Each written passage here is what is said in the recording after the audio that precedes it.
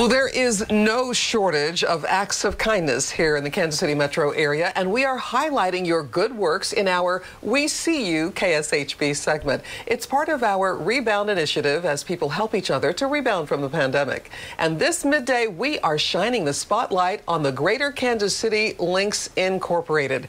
They had a Caring for Our Community drive-through clothing drive last Saturday at Southeast High School.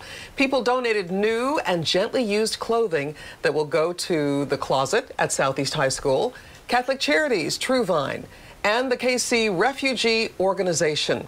People donated more than 2,000 articles of clothing, jewelry, makeup, and shoes, and all of that is going to help hundreds of people who simply do not have the money to buy clothes. So, Greater Kansas City Links Incorporated, we see you and we thank you for taking action to help people in need.